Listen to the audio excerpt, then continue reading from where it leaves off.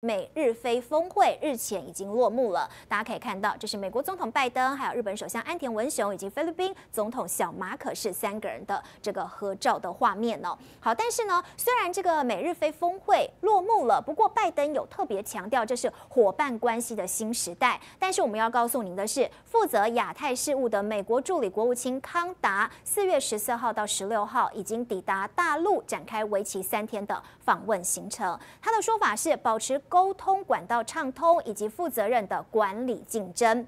这个是中国人民大学的教授石英红老师哦，他有特别说，在这一回的美日非峰会，其实做出了多项反中决定的同时，美国的高官依旧持续频频访问中国大陆，就证明了中美之间现在竞争合作还有沟通并存的格局是没有改变的。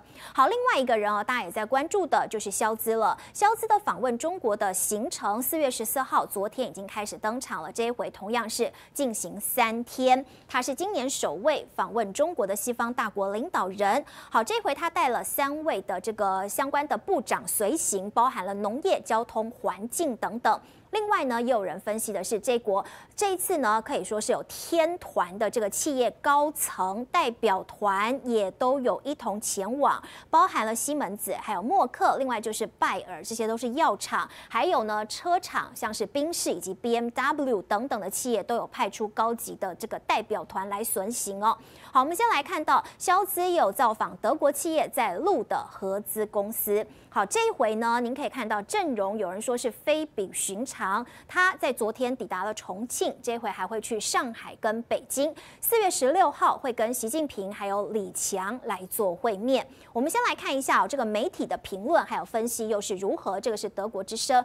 表示说，中德高层将会谈及俄乌战争、台海的情势跟贸易议题。肖兹出访前夕，曾经跟马克宏做了视讯通话，呼吁平衡欧盟还有中国大陆的贸易关系。另外呢，美国之音则是解读了这个是肖兹在当选总理之后第一次访问中国，也是去年七月份推出对中去风险政策的文件之后，首次率团来访问中国。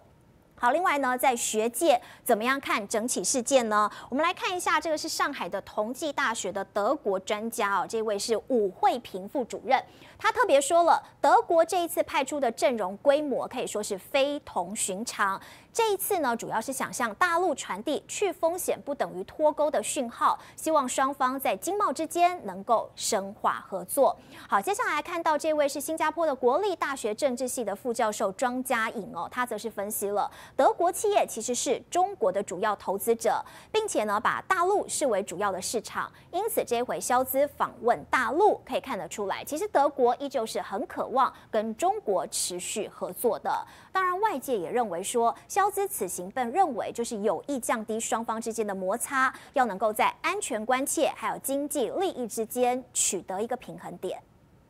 德国总理肖兹十四号抵达重庆，中国驻德国大使吴肯等人到场迎接。这是肖兹二零二一年就任总理后第二次的访陆之行，也是今年首位访华的西方大国领导人。同行的除了环境、农业、交通三名内阁部长，还有德国企业界大咖，包括电子大厂西门子、制药集团默克及拜耳、车企宾士及 B N W 等重量级企业的相关负责人。We still believe in China being a very fruitful and very promising. Market for German enterprises。德国媒体指出，肖兹之所以选择来到重庆，是因为这里是博士、巴斯夫等德国公司的重要据点。肖兹第一站来到了博士制造厂，参观可持续氢动力生产设施。与此同时，欧盟依然继续对中国太阳能电池板、电动车等产业进行反补贴调查，扬言征收惩罚性关税。不过，德国汽车工业对此公开反对，担心这些调查可能导致贸易战，损害德国车企在中国这个最大汽车市场的前景。另外，德国经济在许多产品和原材料方面仍然高度依赖中国。随着德国经济的低迷，德国企业迫切争取公平的进入中国市场。Und für Bosch ist China nicht nur deshalb wichtig, weil viele Rohstoffe für das Kerngeschäft des weltweit größten Autozulieferers hauptsächlich von dort kommen, sondern auch, weil der Konzern dort 55.000 Mitarbeiter habe und ein Fünftel seines weltweiten Umsatzes mache. 二零二三年，德国对中国直接投资总额达一百一十九亿欧元， 双边贸易额达两千五百三十一亿欧元。中国大陆连续第八年成为德国最重要的交易伙伴。小泽此行也将到访北京，与大陆国家主席习近平和国务院总理李强举行会谈。记者综合报道。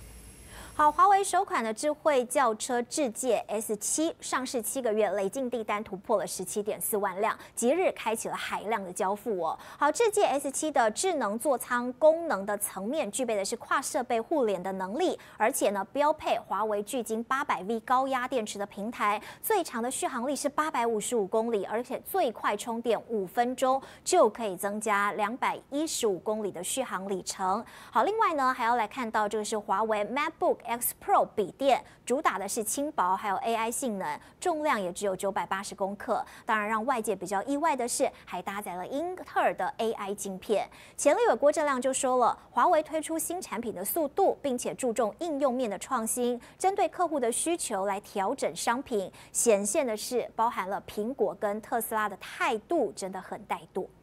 看华为三不五时就推出新产品。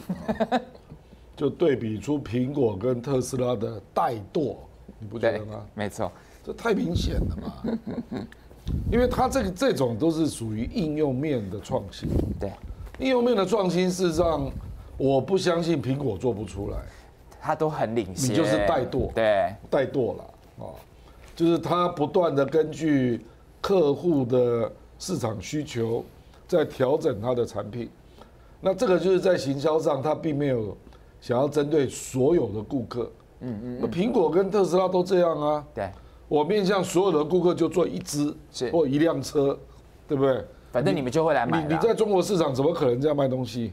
对不对？对，你就可以看到它每一个都有那个朝向的特定消费者嘛，对不对？啊，是。所以这个电动车，那个华为还是跟人家协作的。是的。可是你可以看到它这个哈，嗯，包括你说它的智能啊，对啊，的迭代的高阶智能驾驶，然后续航力嘛，续航力不得了，然后还有快充嘛，嗯，这三个大概都是电动车的，我觉得大概在中国大陆都是三个基本的啦。等于说我的基本标配就已经有很大的，就是你续航力要有一定的，比如说这个是八八百五十公里，对啊，然后它是充电要充多久？很快，然后智能嘛，可以接多少平台嘛？对。这三个我看特斯拉有在讨论吗？智能笔电，它这个又是超薄，嗯，然后又加上各种人工智能的一些，把它这个 building 笔电的本本身，对，啊，我才不相信这个东西，那个苹果电脑做不出来。它当然可以啊。那你为什么不去设想？嗯，这个这个也是一个很典型的嘛。对，啊，比如说你要做超薄，这它当然可以做啊。那事实上，那个人工智能的 GPU，那它美国通通都有啊。美国它用到最高端，它要的话都有。我跟你讲，苹果到现在还没有出智能手机啊。对。所以你就不要去想它的智能电脑了嘛。就是这样啊。那这个是一个误会了，我跟你讲啊。嗯。因为当初在川普的后期啊，他给英特尔开了一个后门啊。哦。就是让他可以卖 CPU 给华为，对，那可以卖到今年七月。哦，OK。那这些共和党的议员搞不清楚，他以为这是拜登开放的，所以骂到自己，结果是川普骂到川普了。对对，那他们搞不清楚，就说，哎，怎么现在还还在允许卖给华为？嗯，那是不是七月你还要续约啊？所以他们现在是在追问。因为他知道骂到川普，赶快改改口说你是不是七月之后还要续约？他根本就是回力标打到。那他现在要阻止续约了，变成这样。OK，那这个我们还不知道，因为坦白说，英特尔它的游说力量可强，太可怕，太可怕了，真的。你看那个晶片与科学法案，他拿到多少钱？他拿最多啊，台积电没。他现金拿到八十五亿，对，贷款拿到一百一十亿，台积电六十亿，加五十五十贷款，嗯，哦。坦白讲，我还认识一个台积电的朋友，他他告私下告诉我，对，说台积电第一场就要告到四纳米嘛，对，英特尔连四纳米都做不出来，他做得出来才，然后你给他拿八十五亿，你好意思？所以我跟你讲，那你会说他是美国人呢、对啊，那 AMD 为什么拿不到？太阳星全效克菲尔益生菌，我吃了两三天，最明显的感觉是睡眠品质竟然变好了。睡得好，让我整个人工作更专注，心情也变得更稳定更好。因为太阳星全效克菲尔益生菌，才让我认识到克菲尔益生菌，它是由多支菌种的益生菌所组合而成，不仅能够维护消化道机能正常运作，还拥有多种有益健康的保健功能，相当强大。你知道吗？有台大教授专门研究它，称它是神仙的礼物。上千篇的国际研究证实，克菲尔益生菌不仅帮助肠道健康，肠道菌透过肠脑轴影响全身器官，所以维持肠道菌丛的平衡是解锁身体健康、精神健康的钥匙。对帮助睡眠、维持好情绪真的很有感，也因为这不是药，有季节敏感、代谢困扰、关心恶性细胞风险的好朋友，选择太阳星全效克菲尔益生菌，做好日常的保养，身体健康没负担。每日克菲尔时刻美好，Good Feel Feel Good，请上快点购健康下单，输入推荐代码有额外的折扣。